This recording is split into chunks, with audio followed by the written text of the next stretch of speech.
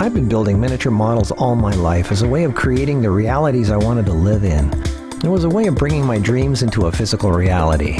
As a kid, I made home movies with miniature models. I blew up the White House 30 years before Independence Day did. I created space movies inspired by Star Wars and Battlestar Galactica. I built lots of highly detailed spaceships and miniatures and props, and then I got the local friends to play the actors.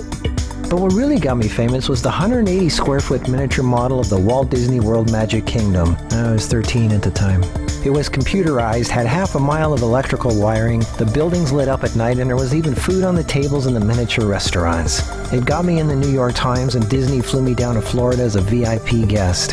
When I was 19, I started working for architectural companies building miniature models of subdivisions, retirement communities, shopping malls, and new home designs.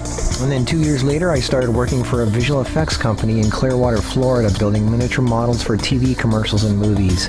I built Washington in miniature for the 6 o'clock news in Washington because it's illegal to fly over Washington, so they had me build it in miniature. There were even airplanes in the Air and Space Museum. I built the whole thing in less than two weeks. And then a news station in Memphis liked the Washington spot so much they wanted the same thing, so I built Memphis in miniature, this time in nine days. I'd crank rock music super loud and not stop until it was done. Florida was too small time for me, so I moved to Hollywood, where I got into the big stuff. I was the perfect person for the job because they always wanted it fast. I did this miniature building for Ernest Saves Christmas in one day. They gave me the job at 9 in the morning and I had to be done by 5 that afternoon. Here's a model of a house built into an iceberg for a music video. Here's a haunted mansion for another music video. Here's a miniature city for a Daihatsu car commercial. I built this whole thing in my studio apartment living room. Here's a miniature subdivision for a Courtney Love video. I had three days to build it. When this picture was taken, I hadn't slept in three days.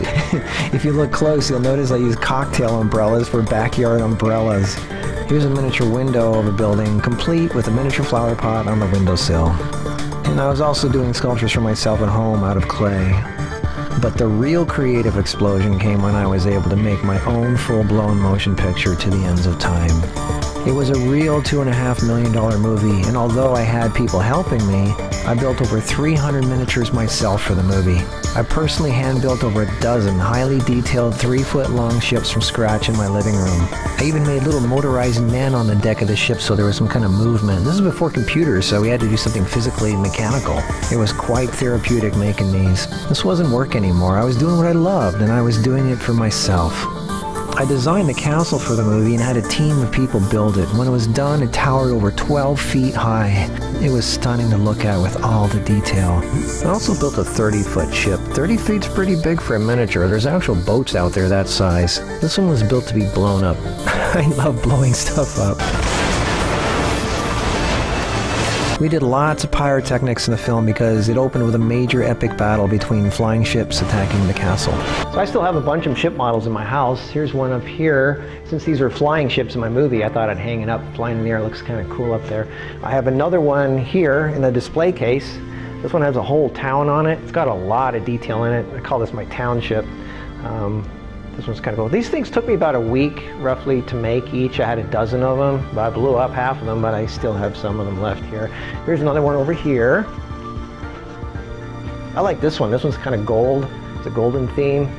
Um, this is, uh, again, got a bunch of detail in it. I like this one. Each one's got a whole different feel and vibe to it. And then I have another one over here. But wait, there's more. This one is kind of cool. It's got stuff hanging under it. Um, and it's all just paper and balsa wood and some vacuum formed plastic. And underneath it, I've got this model from Atomic City, the TV show I was putting together. Well, completely different theme. Is more of a retro 60s thing. I got models everywhere. It was a TV show concept that was a cute, fun, retro Jetsons fantasy. I made all kinds of cute little retro miniature coffee shops, restaurants, and casino signs. I even made miniature flying cars and James Bond-like gadgets for the actors. It's fun making miniatures because they're real, they're physical, you can touch them. And that's part of what makes it that much more special. You know, part of us should never grow up. We should be having fun in life. And I hope part of what I'm doing is inspiring you. If you want to see more of my stuff, go to my website and look at my paintings, my miniatures, my special effects work, and anything else that hopefully will inspire you to have a little more fun and creativity in your life.